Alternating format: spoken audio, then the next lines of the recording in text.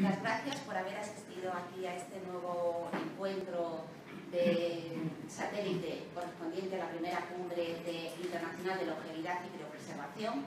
Eh, yo soy Lola Bonilla, pertenezco al Club B.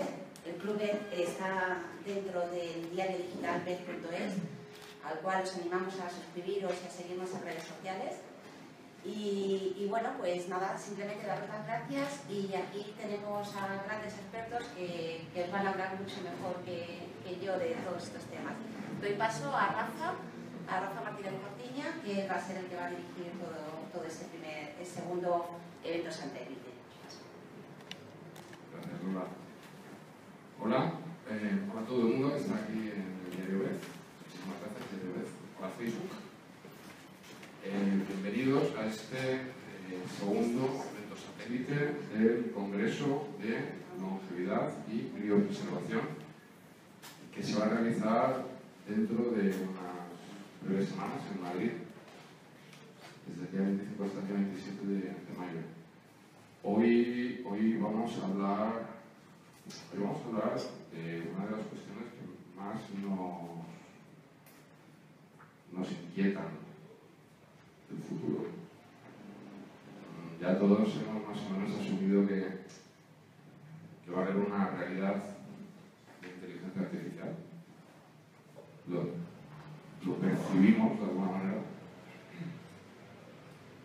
Y la parte que más nos inquieta es la parte de las emociones. ¿Qué va a pasar con empatía? ¿Qué va a pasar con... ¿Qué va a pasar con todas estas cosas que de repente le damos muchísima importancia por primera vez en nuestra historia.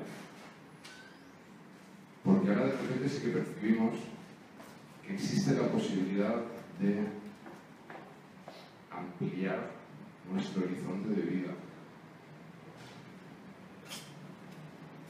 Cuando ya empezamos a pensar que la inteligencia artificial nos puede resultar muy beneficiosa eh, todas las tecnologías de longevidad y, como decía José Luis Correiro, del plan B de la criopreservación, que son cuestiones que se van a tratar en el Congreso de una manera muy científica. Hoy, en este evento de Facebook, lo vamos a tratar de una manera mucho más cercana.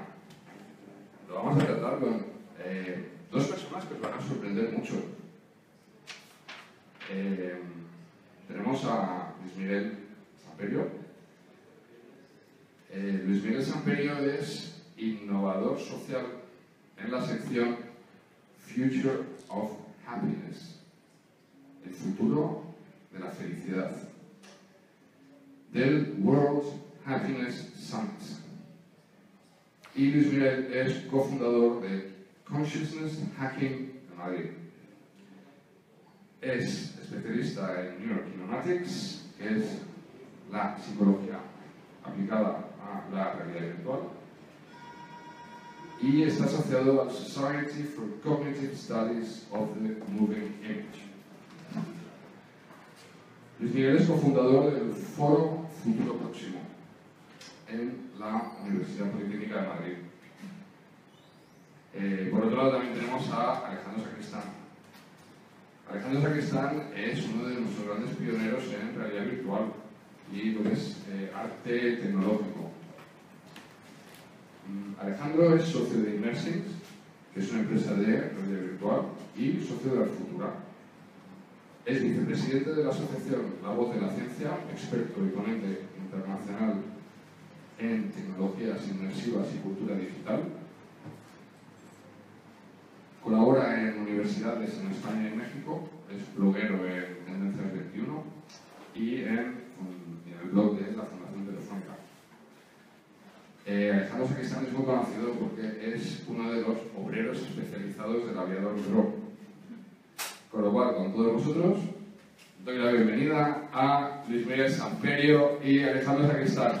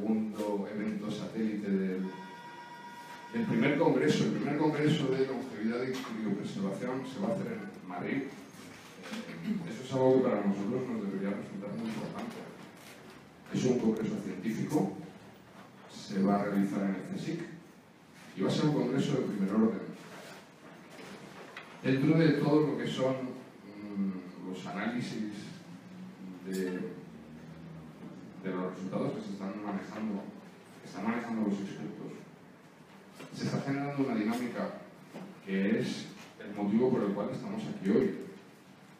Hay mucho interés, hay mucho interés, y hay mucho interés más allá del ámbito científico. Habrá muchas personas que no podrán ir al, Claro. El 25, el 26, el 27 de mayo, pero sin embargo tienen muchísimo interés. ¿Qué va a pasar con las emociones? ¿Qué va a pasar cuando nosotros tengamos una inteligencia artificial que nos haga superhumanos? ¿Los superhumanos podrán desarrollar más empatía que los humanos?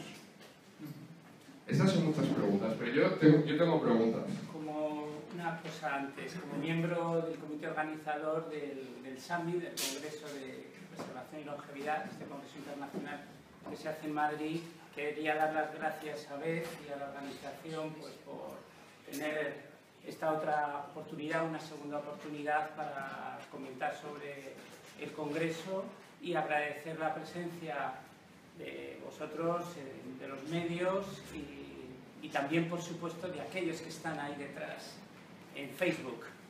Saludos eléctricos al ciberespacio.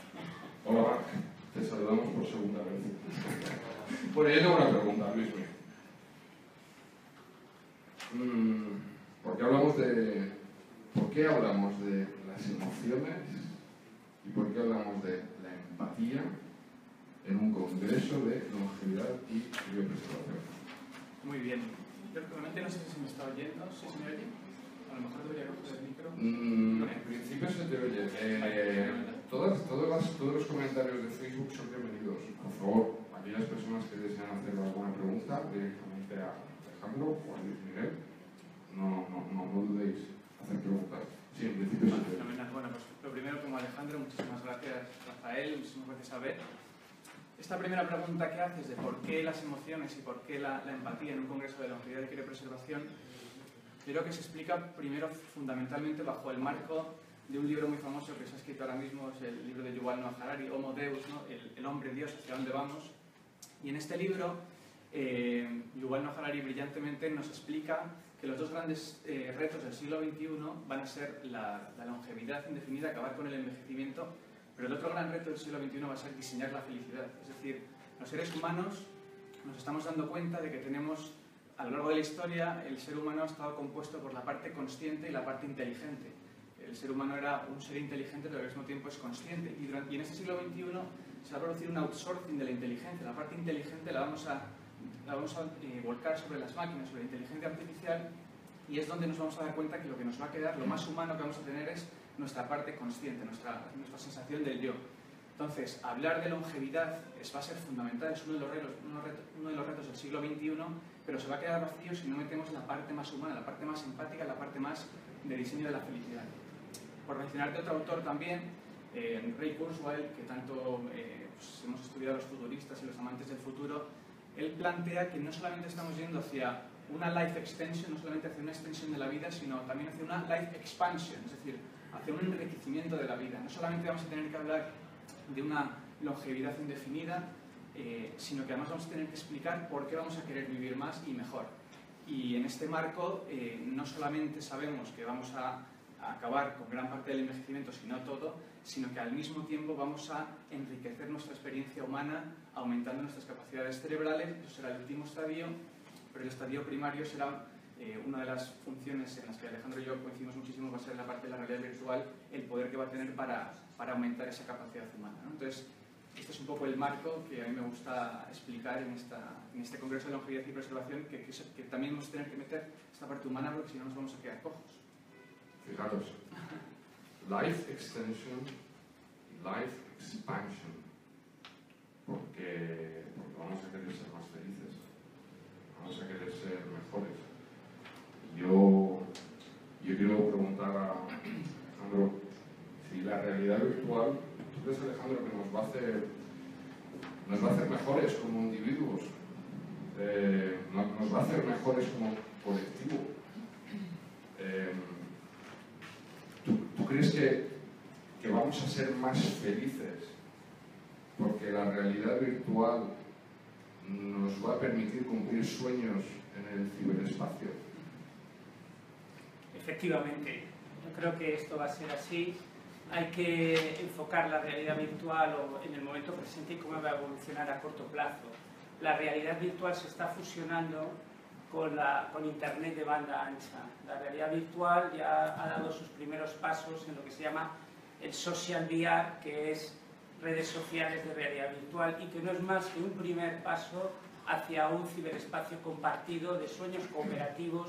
Los fundadores de la realidad virtual en 1965, el inventor de la realidad virtual, Ivan Sutherland, decía que la realidad virtual es el lugar donde el ordenador controla la existencia de la materia.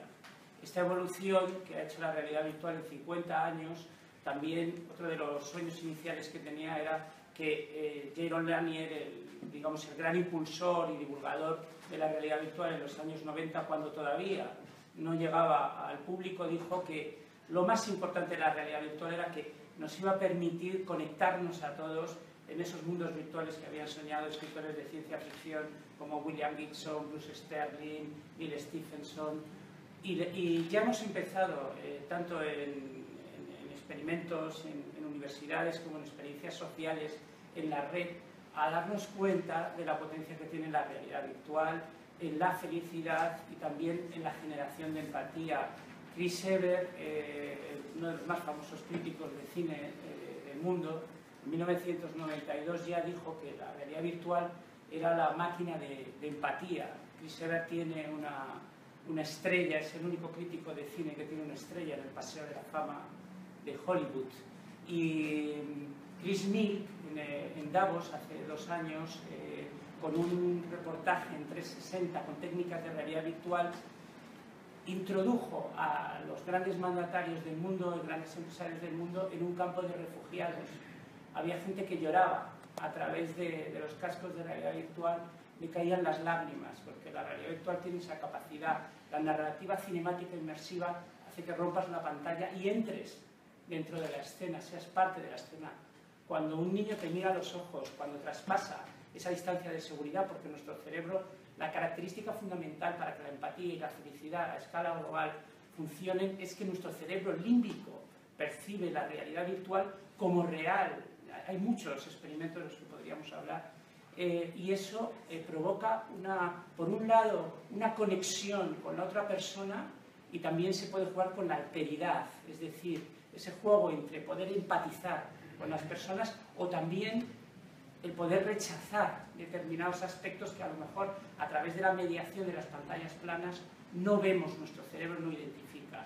Y por contaros algunas experiencias muy rápidamente eh, que tienen que ver con las emociones, eh, pues yo he visto, por ejemplo, una persona mayor que ya no podía viajar, eh, sumergirse en un viaje a Egipto y ver la expresión de felicidad, abrazarnos cuando terminó la experiencia, con, con, los ojos también poco inyectados, casi, casi a punto de llorar de, alegría. Había hecho eh, esto también con, con, parapléjicos. Con parapléjicos lo hemos hecho, lo hemos experimentado. El, que ellos se muevan en, realidad virtual, o sea, realmente el que, el que puedan desplazarse, su cerebro siente que se están moviendo.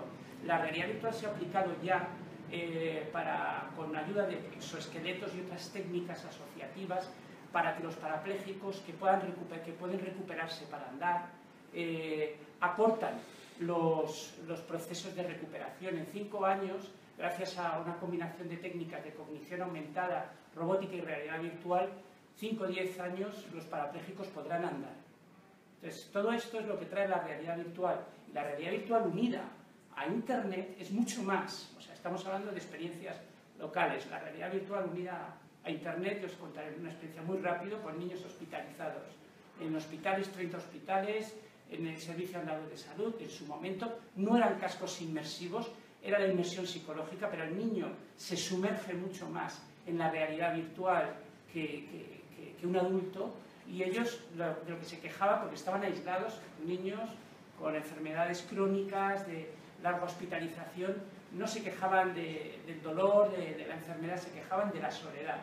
Y la realidad virtual, estos niños generaron, porque al final entraban unos 600, 700 niños a la vez en, estos, porque estamos en, 30, en 33 eh, unidades pediátricas de hospitales.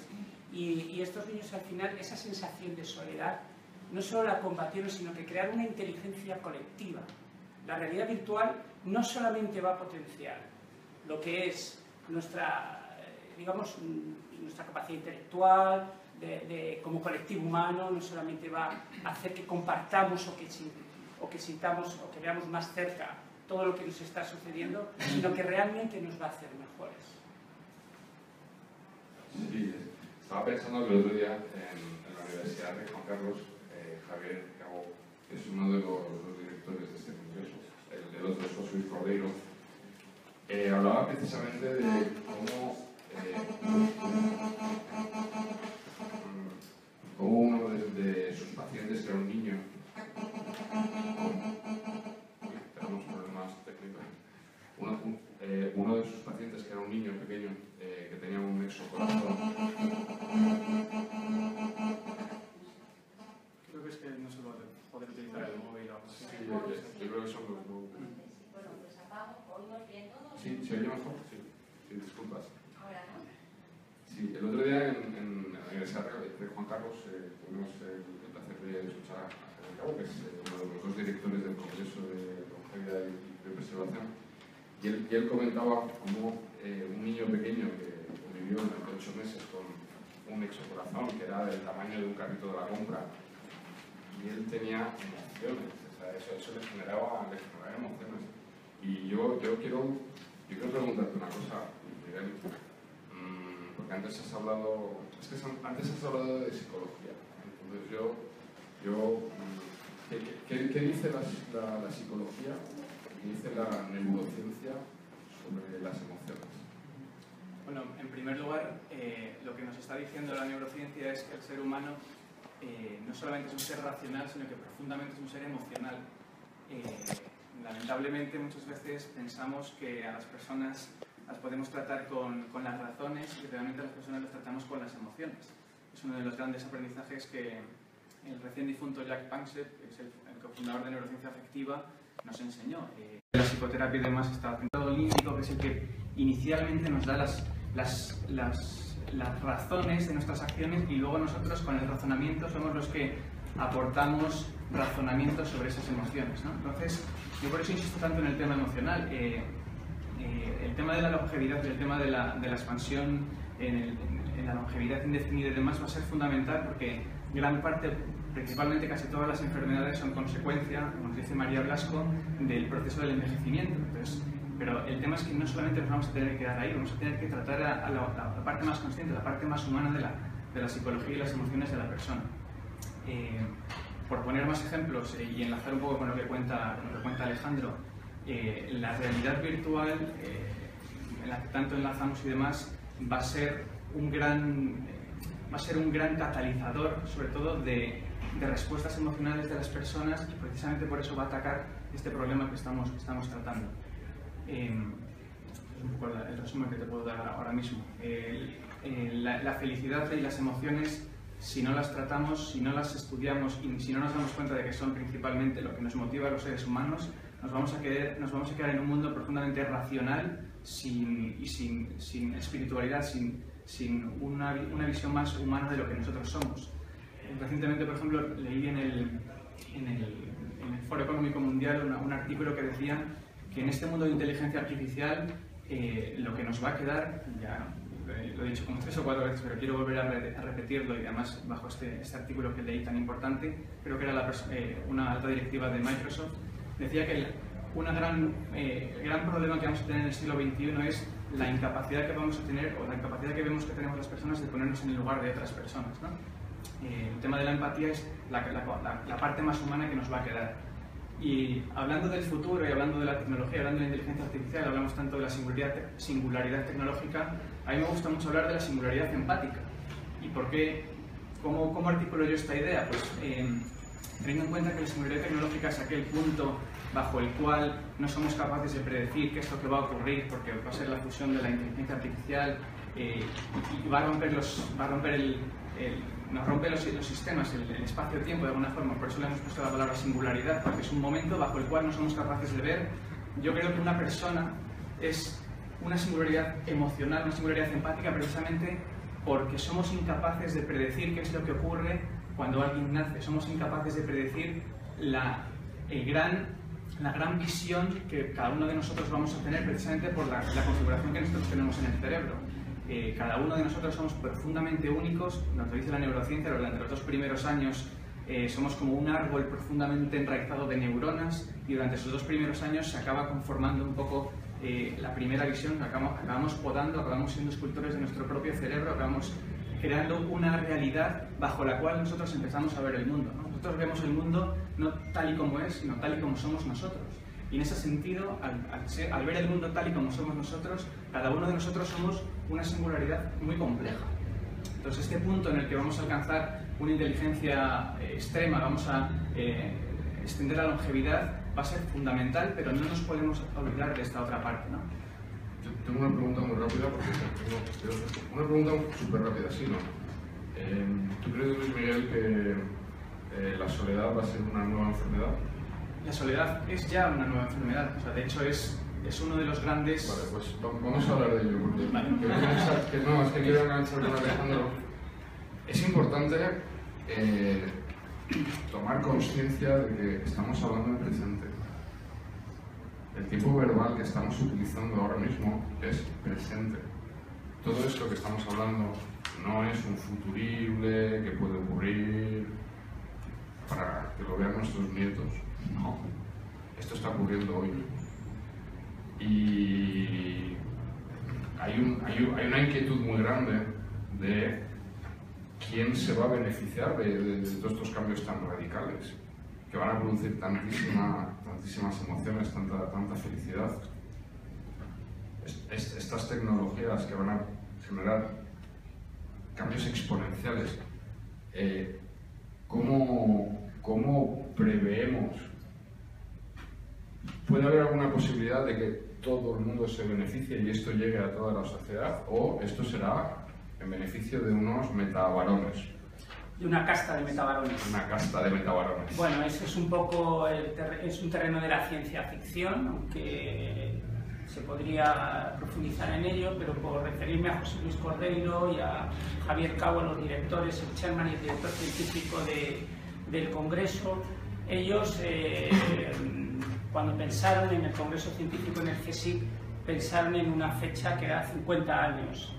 Estamos hablando de tecnologías que en laboratorio y fuera del laboratorio ya han producido muchos cambios, o sea, ya estamos, eh, ya somos tecnología, el hombre ya ha empezado a trabajar con la tecnología desde hace muchos años al interior de su epidermis, o sea, la aceleración neurocultural, la amplificación mental, la amplificación física eh, se lleva produciendo muchos años. Un aviador DRO en 1979 yo escribí la Declaración Programática de los Derechos de las Máquinas Inteligentes, pensando en que nosotros ya habíamos llegado a ese estadio en el aviador DRO. Hicimos ese ejercicio en el año 79, Servando Carballar, el factotum de, de aviador DRO, eh, hizo la canción de la visión, que por cierto la vamos a tocar mañana en el Rocola, y en la visión ya terminamos un poco como Harari. En la, en la, en la visión, nuestra, la última frase es, las máquinas llegarán a ser Dios. Pero las máquinas somos nosotros.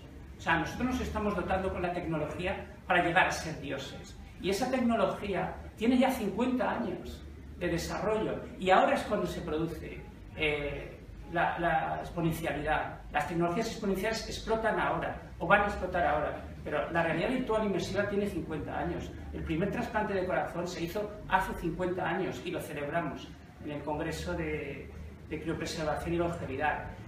El primer hombre criopreservado, que bueno, fue criopreservado con unas técnicas más que dudosas, pero tuvo el valor, digamos, eh, tiene el valor histórico de romper con, con ese... Eh, ya Gilgamesh, hace 5.000 años, en, en las epopeyas eh, del Mahabharata, en las epopeyas indias, de los Vedas y tal, hablaba de la inmortalidad hace 5.000 años. El, ser humano, desde que entró en esa primera aceleración neurocultural con el lenguaje, después vino la imprenta, después vino Internet y ahora es la realidad virtual, en ese momento ya empezó a, soñar con una extensión indefinida de, de la vida. Bien, pero todo eso esa extensión indefinida de la vida, ese, como dice Javier Cabo, que es un hacedor de cibos, Javier Cabo es uno de los mejores eh, cirujanos de trasplantes del mundo, es uno de los que más ha investigado, ha cambiado protocolos, ha hecho técnicas de animación suspendida para operar a 6 grados de temperatura, parando prácticamente la circulación de, de la sangre del cuerpo, y esas técnicas de animación suspendida es una de las cosas que se van a explicar en el Congreso, de, porque es uno de, de los aspectos que se aplicarán para poder no solo criopreservar con eficacia a los seres humanos, sino poderlos reanimar. Ahora mismo las técnicas que existen fundamentalmente no son fiables ni están suficientemente afinadas, pero se está en el camino de eso. Se lleva 50 años trabajando con esto. Entonces, esta revolución que tenemos, esa singularidad es el punto final, pero ya la hemos empezado. Será en 2029, como decía Vince, será en 2045, como decía Kurzweil, será en 2080, como decía este Javier Cabo,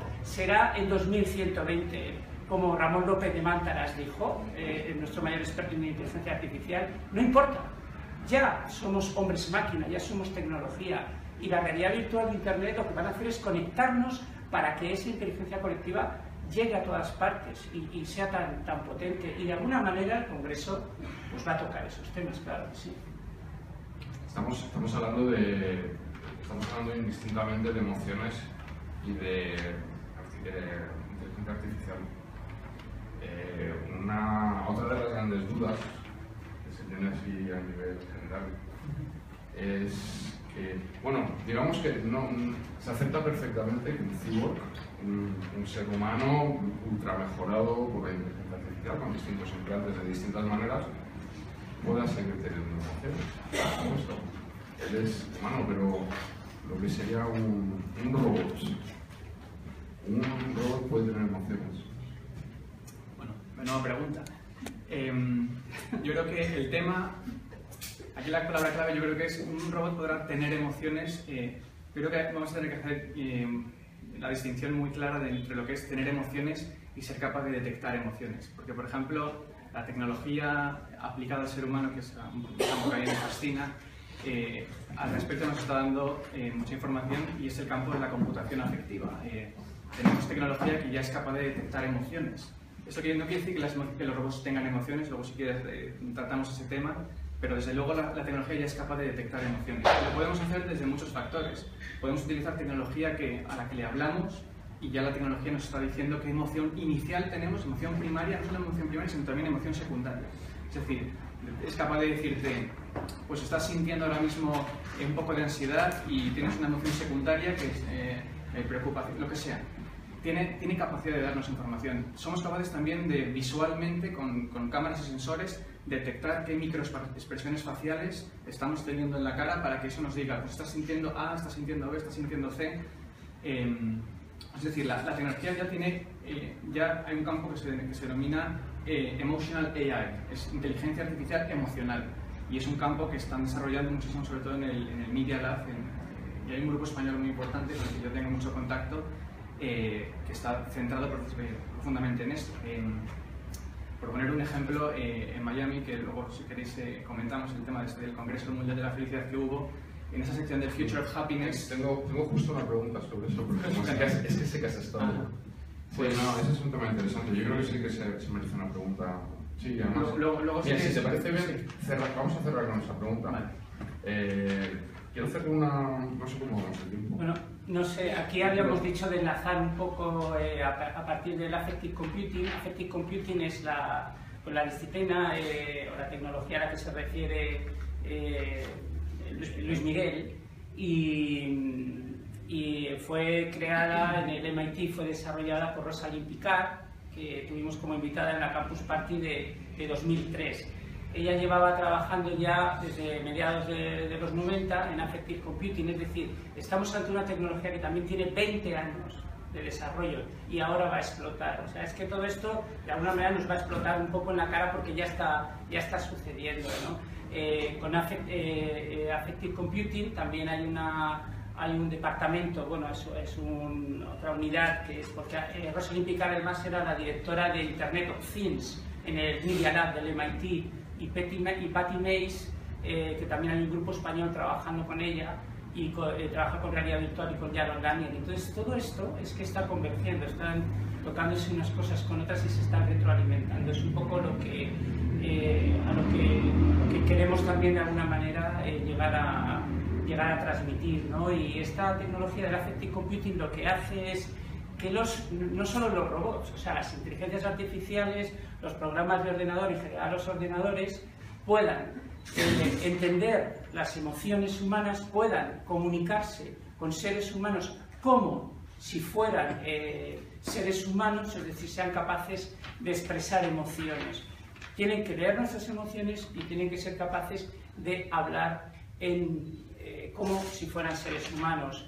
Pero la parte emocional de, los robots, por supuesto van a tener emociones, pero vamos, cuando, seamos, cuando estemos fusionados, o sea, la parte emocional, si la vamos a aportar nosotros, los seres humanos, la inteligencia artificial que estamos creando es para nuestro propio beneficio, para nuestra propia utilidad, también para ayudarnos a combatir con la inteligencia colectiva, a combatir los colapsos a los que nos enfrentamos. O sea, los seres humanos y los políticos, lo estáis viendo, no tienen capacidad de enfrentar ni el cambio climático, ni la crisis de la biodiversidad. La sexta extinción está en marcha desde hace más de 20 años, también científicamente demostrado.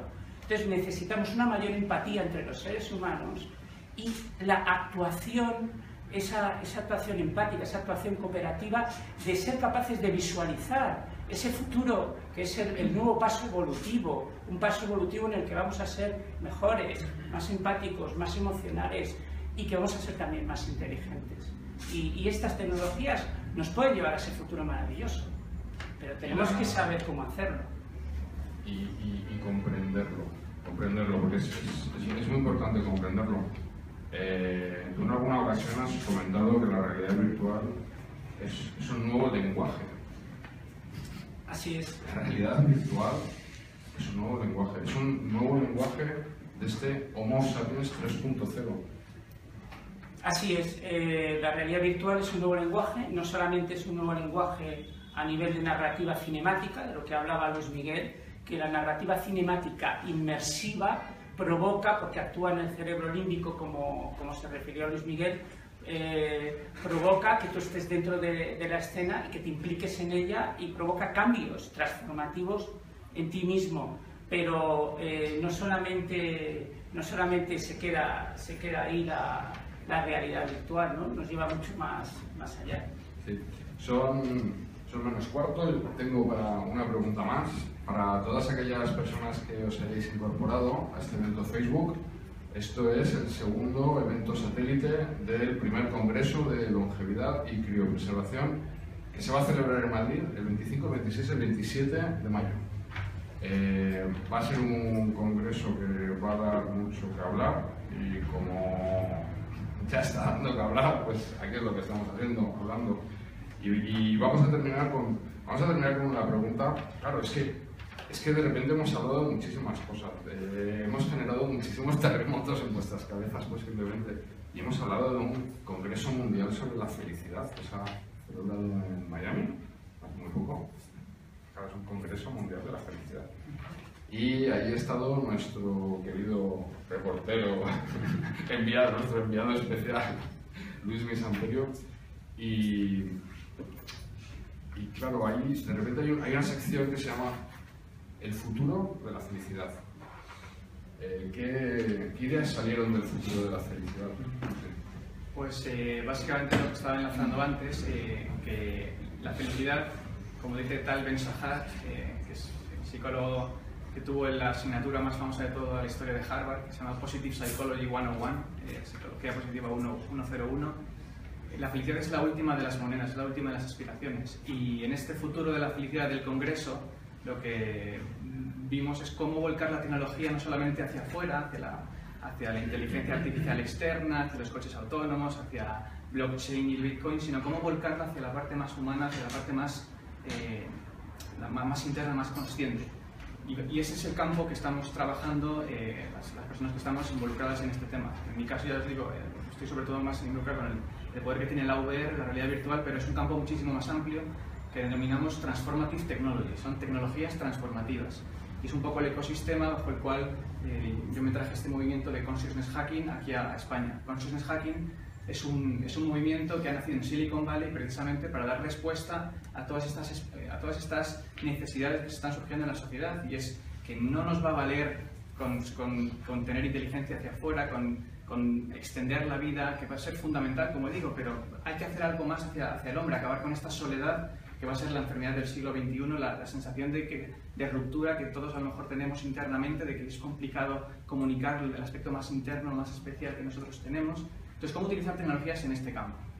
Como digo, Consciousness Hacking es un movimiento global que ha nacido en Silicon Valley, que tiene diferentes hubs por todo el mundo. Está el Consciousness Hacking, Israel, Consciousness Hacking, eh, Berlín, Consciousness Hacking, Santa Fe. Y entonces hemos traído aquí este movimiento que es eh, Consciousness Hacking Madrid, cuya primera iniciativa va a ser el proyecto Empática VR, que es un proyecto que se basa en la utilización de la realidad virtual para crear espacios donde las personas puedan encontrar a, similares bajo su, personalidad. Es decir, Helen Fisher, antropóloga, bióloga, especialista en la neurociencia de la, de la, personalidad, nos ha explicado que las personas tenemos como cuatro temperamentos fundamentales.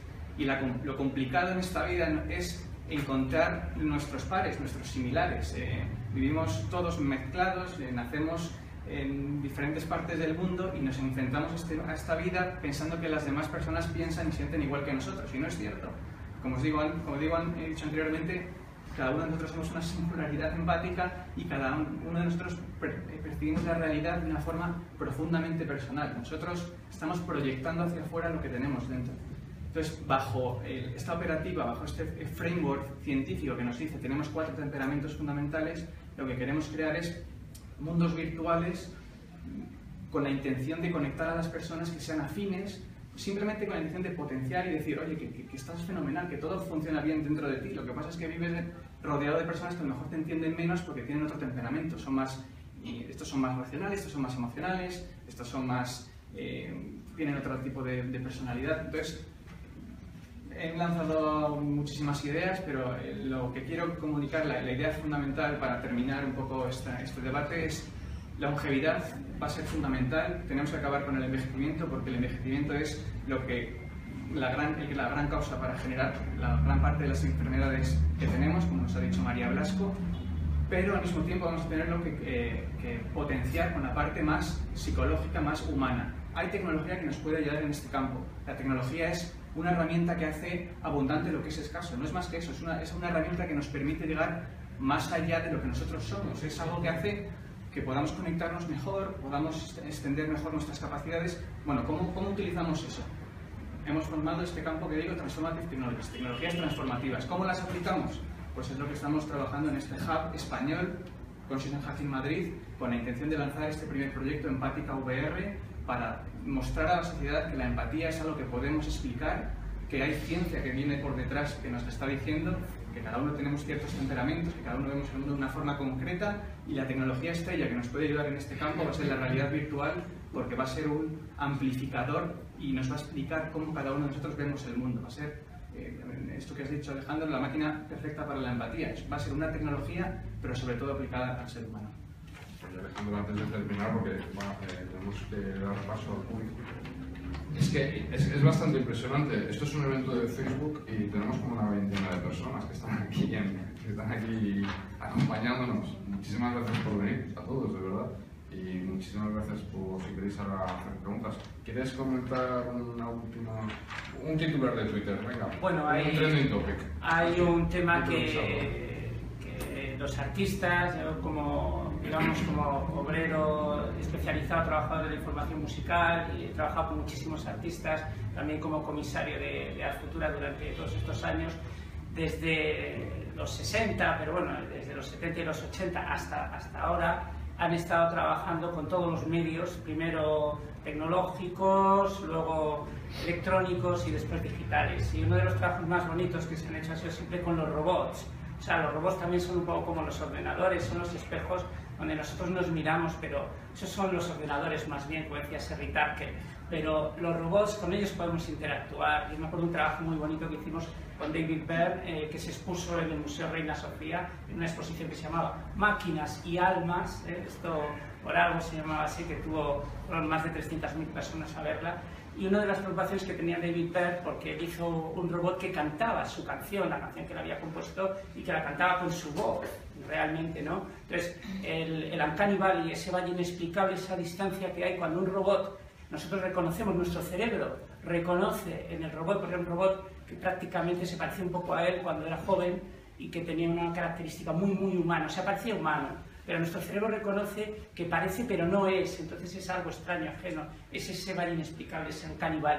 Y él estaba muy preocupado, ¿y cómo va a reaccionar la gente? ¿Y cómo bueno, pues efectivamente, en el primer momento cuando el robot empezó a moverse, a cantar y te miraba y tú, eh, la gente a lo mejor quedaba un poco impresionada, pero a los 10, 15 segundos se rompía ese, ese valle inexplicable, la música, que es el, ciberespacio de las emociones, de los sentidos más grandes que hay, pues reunía a, incluso congregaba a, un auditorio y se acercaban y miraban al robot, incluso una periodista entrevistó al robot después de cantar, ¿no? Es, eso, es, todo lo que viene tiene esa magia y esa poesía. Bueno, pues nada.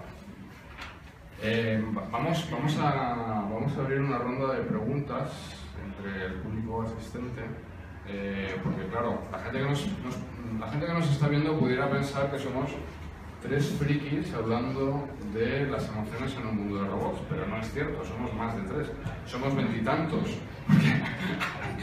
Muchas personas que han venido aquí están interesadas. ¿Hay alguna pregunta? ¿Alguien quiere hacer una pregunta? Javier, Javier San Román. Te voy, a, te voy a pasar el, micro para que te puedan, puedan escuchar, para que te puedan escuchar en Facebook periodista y pionero de toda la comunicación eh, de la revolución digital, o sea que tú de esto sabes mucho. Bueno, no tanto como vosotros. Eh, yo quería hacer una, una, pregunta que es un poco política, no sé si voy a saber formularla. Eh, estáis hablando de que la tecnología nos va a empoderar y nos va a transformar, incluso nos va a hacer semidioses, ¿no? Que es un poco la tesis de Harari y Pero esta tecnología no es accesible para todo el mundo. Puede haber una brecha social que divida a la sociedad y a, unas personas inmortales y a otras no. Vivimos en un mundo donde está aumentando la desigualdad cada vez más y es posible que, este fenómeno solo, solo, sea para cierta gente. ¿No creéis que eso puede crear un conflicto social? Que incluso vaya a ser una guerra entre inmortales contra inmortales o algo así. Porque realmente esto va a ser para todos, no debería ser eh, todo, todo, este empoderamiento derivado de la tecnología va a estar al acceso, va a ser accesible para todo el mundo? Hay dos, dos, aspectos fundamentales. Uno que es tecnológico y que es muy fácil de, de, abordar y de contestar, que las tecnologías, como dice el profesor José Luis Cordeiro, al principio son malas y caras, tienen poca funcionalidad y esto tristemente yo creo que se demostrará eh, con los cuerpos que se han criopreservado que todavía no se han hecho con las técnicas suficientes. Es decir, ahora mismo la gente que se ha criopreservado, si te dicen que tú vas en un avión y que se va a estrellar y que hay un paracaídas experimental con el que quizás tienes alguna posibilidad de salvarte, te puedes quedar en el avión esperando estrellar, rezando a tus dioses, o puedes utilizar el paracaídas experimental, ¿vale? Bueno, pues eh, este, esta, fase la, estamos atravesando, las tecnologías muy rápidamente se democratizan, como se ha visto en la aceleración exponencial. El, móvil, eh, yo recuerdo cuando estoy hablando con José María Muñagorri, el director general de Telefónica del gran público, que, que, algunos no le creían, ninguno, incluso algunos que llegaron a ser CEOs de la compañía no le creían. A mí me decía, pues en 93-94, mira esto, este, Todas las personas van a tener un teléfono. Hemos entrado en la era de la, de la telefonía personal. Ahora mismo en África, eh, para muchos servicios médicos, la tecnología inalámbrica. En, en lugares donde incluso hay gran hambre y pobreza, esta, la tecnología está entrando y, es, y, está facilitando la vida y la salud de las personas. Bien es dicho que apoyado por organizaciones no gubernamentales. O sea, uno de los aspectos en los que creemos, digamos, pues los que estamos a favor de este desarrollo tecnológico para mejorarnos a nivel, a nivel individual y colectivo, es que creemos en esa popularización rápida de la tecnología y abaratamiento de los, de los precios. Ahora mismo pues cuesta unos 800 euros eh, pues, sacar tu genoma. Eh, dentro de, de, muy pocos años, de 5, 6, 7 años, va a costar 10 euros. O sea, estamos en ese punto. Pero luego, sobre todo el futuro depende de nosotros mismos. Hay una serie de, de televisión que no sé si habéis visto, que se llama Incorporated, que precisamente dibuja muy bien, aunque lo dibuja en el año 2073, dibuja muy bien ese futuro distópico que puede suceder en 20 años y al que tú te, te refieres, donde hay una casta de metabarones eh, después de, una serie de guerras mundiales, globales, eh, el mundo, la ONU, los estados han desaparecido y son las grandes multinacionales las que de alguna manera han conseguido eh, revertir o parar el proceso de colapso civilizatorio, pero a costa de crear dos, dos, zonas, la zona verde y la zona roja. La zona verde es donde están pues, eh, eh, los humanos que tienen acceso a, a, las más avanzadas técnicas y en la zona roja están aquellos que tienen acceso a unas técnicas más bien low-tech y que fundamentalmente están en un colapso económico. Bueno, esa es una visión distópica pero depende de nosotros el que eso jamás se llegue a producir. Y hay bastantes elementos a favor para que eso no se produzca. ¿Yo en qué confío? Pues confío en la realidad virtual y, e Internet para que nos hagamos conscientes todos de, de este mundo global que compartimos y que nos unen muchas más cosas de las que nos diferencian. Y nos unen las emociones fundamentalmente. Pues Miguel. Pues básicamente coincido en Alejandro. La, explicación que se suele dar a, esta, a estos temas eh, de desigualdad, la respuesta suele ser esa siempre. Es el hecho de que todo, efectivamente, todas las tecnologías se acaban democratizando cuando empiezan a funcionar de verdad. Eh, no se da otra respuesta más que esa. Eh, yo creo que esa, es la respuesta que al respecto. ¿Hay alguna pregunta más? Tenemos, tenemos otra pregunta. Y en Facebook nadie pregunta en Facebook. Si alguien quiere preguntar en Facebook, que lo escriba. Bueno, pues, a ver, esto que estamos, estamos hablando de, de tecnología empática, ¿no? Que nos va a conectar, que nos va a hacer vibrar pues, este salto que necesitamos como sensibilidad. Eh, a mí me plantea que, claro, eh, esto, esta tecnología está para eh, desarrollar nuestra empatía. Pues, somos eh, nuestra naturaleza. Yo me pregunto si desarrollando tanto nuestra empatía acabaremos necesitando esta misma tecnología que estamos construyendo para poder conectarnos, que es lo que se trata.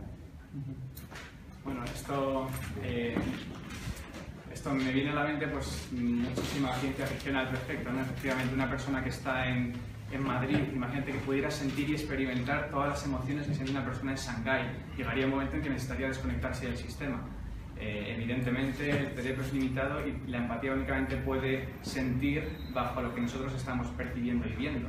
Eh, esto es, es, complejísimo llegar a sentir, por mucho que a veces queramos asumirlo como tal, el sufrimiento en partes del mundo que no estamos sintiendo o experimentando. ¿no? Entonces, es, una pregunta también complicada porque creo que enlaza con este factor eh, un poco que a veces en el mundo del siglo XXI se está generando este factor un poco pesimista en cuanto a que, pero ¿cómo puedes hablar del futuro tan precioso, maravilloso al que vamos, un futuro de la abundancia? ¿No te das cuenta de la cantidad de dramas que estamos sintiendo, experimentando con las noticias? Tenemos acceso a, a tantísimos dramas y la respuesta que se suele dar es, primero, que los seres humanos estamos diseñados para percibir lo negativo antes que lo positivo. Eh, en la psicología positiva se suele hablar del, del, factor 5 a 1. Necesitamos cinco interacciones positivas por cada una negativa para entender que, que las cosas van bien. Incluso en las parejas eh, se, se, habla mucho de esto. ¿no? Cuando resaltes algo negativo, que sepas que tienes que poner cinco cosas positivas porque si no, lo negativo se pega como el velcro y lo, y lo positivo resbala como el teflon de una sartén. ¿no?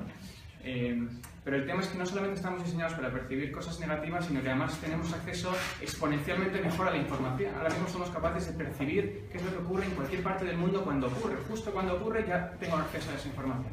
Entonces, evidentemente, en esta globalización que se está produciendo, vamos a tener acceso a todas las, a muchísimas más emociones de muchísimas más personas, pero es cierto que vamos a tener que también asumir nuestra, por lo menos en los primeros estadios, nuestra naturaleza limitada, por lo menos a, los primeros, como digo, estadios de que no podemos abarcar las emociones y los problemas de todo el mundo. Entonces, eh, creo que aunque efectivamente vamos hacia el ser conscientes de todo lo que ocurre, y ya somos capaces de hacerlo, inicialmente con empoderar un poco este desarrollo empático, creo que estamos en la buena dirección.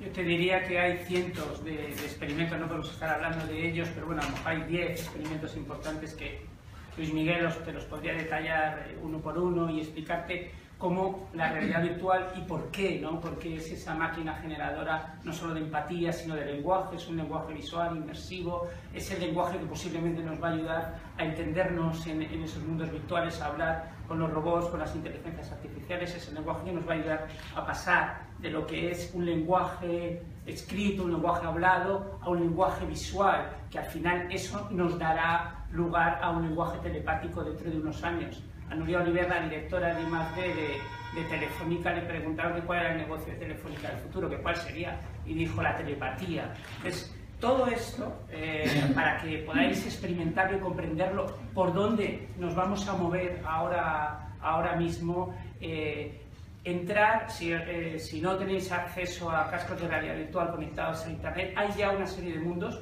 Facebook acaba de lanzar, que es una versión muy beta, es una versión muy limitada, una, eh, su Facebook en realidad virtual que se llama Spaces.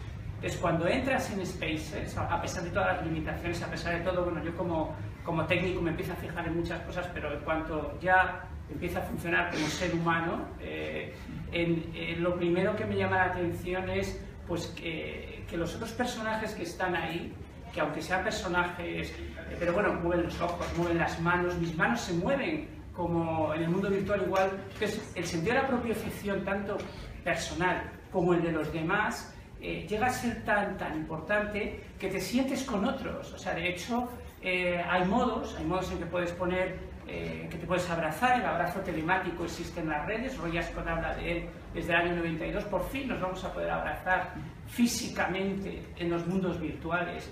De verdad, si entráis en Spaces, si entráis en High Fidelity, en Sansar, en All Spaces, son los primeros mundos virtuales sociales que se están creando. Simplemente el que nuestro cerebro perciba que hay una volumetría, que hay una distancia, que esa distancia funciona igual que en el mundo real, o sea que yo traspasando un determinado, una determinada distancia estoy intimando con la persona, todo eso lo sientes dentro de los mundos virtuales eh, haces amigos en realidad virtual de una manera mucho más potente que en esta colectividad de niños que a mí me impresiona muchísimo. Yo casi todo lo que sé lo aprendí ahí sobre realidad virtual, pero con, las, con los cascos eh, inmersivos, eh, el cerebro percibe todos estos aspectos, la volumetría, la distancia, la voz, el movimiento de los ojos. Eh, eso te, da, te puede dar la medida de... Y este es el primer paso. O sea que realmente es así. Vale, me hacen una pregunta de Facebook que es, la única que vamos a poder aceptar, porque también me están diciendo que, que tenemos que cortar. ¿Cómo afectará la, la, robótica al empleo? O sea, no es. Esto, claro, vamos a ver. Esto es una pregunta, es una pregunta que está muy bien, pero que a lo mejor se extiende un poco de lo que es el ámbito del Congreso. El Congreso va a ser sobre longevidad y sobre criopreservación, pero bueno, está muy bien. Eh, intentar, intentar comentar, porque es que tenemos que cerrar. Si queréis, ¿Cómo, ¿Cómo, afectará la robótica al empleo y si habrá nuevas emociones en el empleo? Buah, eh, bueno, eh, en el foro de futuro próximo, en, en, este, en este grupo que montamos en la, en la Universidad Politécnica, eh, estuvimos hace unas semanas en, en Alcobendas y eh, uno de los cerebros a los que más yo admiro se llama Ricardo Sanz, que es eh, experto en inteligencia artificial y demás. Él, las predicciones que hacía es, efectivamente, vamos a un mundo de empleo cero. O sea, haciendo, siguiendo las predicciones eh, y teniendo en cuenta que si eres capaz de replicar la inteligencia biológica humana en inteligencia, en redes neuronales artificiales, la última consecuencia de todo esto, haciendo las últimas predicciones, es empleo cero. Entonces, por eso yo insisto tanto en ¿Vale? ¿Y qué? qué? qué? es lo que va a pasar después? ¿Qué es lo que va a ocurrir después? Eh, ¿Qué, ¿Qué, es lo que nos va a quedar? ¿Qué es lo más humano que nos va a quedar? Entonces, eh, la respuesta que se suele dar es, eh, primero, efectivamente vamos a, a un empleo cero, ¿cuál? Bueno, voy un, poco, voy un poco hacia atrás. ¿qué es lo que va a ocurrir efectivamente cuando haya un empleo cero?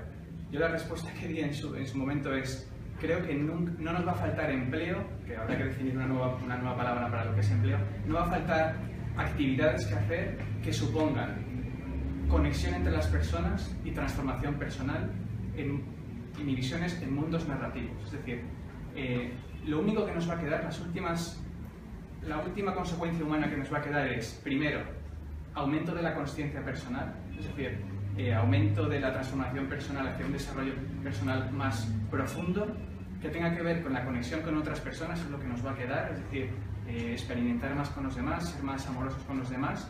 Y tercero, seguramente compartiendo afinidades comunes o, objetivos comunes, que es lo que realmente nos une a las personas. Es lo que ocurrió en este partido hace nada entre el Real Madrid y el Atlético de Madrid. Hay algo, hay algo que está produciéndose y que reúne a las personas alrededor. Siempre parece que, necesitamos una, un objetivo común al que perseguir.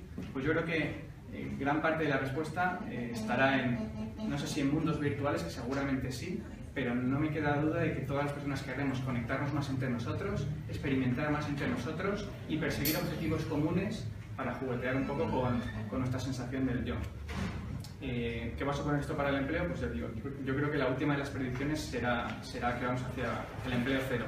Y por último, la última idea es, en este mundo que decimos futurista, de abundancia, de abundancia material, eh, vamos a tener que ser conscientes y no hay que ser optimistas sin ser realistas, que yo, personalmente yo creo que los próximos 10-15 eh, años van a ser complicados porque vamos, eh, como nos, dijo este eh, psicólogo, perdón, sociólogo Edmund Bauman, hablaba de la, sociedad líquida, el, el, mundo se está derritiendo en cuanto a estructuras sociales que nos han llevado hasta el momento actual y la tecnología yo la entiendo, como un radiador que está por debajo y que está derritiendo icebergs de, estructuras sociales, eh, compañías que, que, se han quedado o que se van a quedar un poco atrás con este nuevo cambio disruptivo, esta ola que va, que va a, a barrer tantísimos aspectos.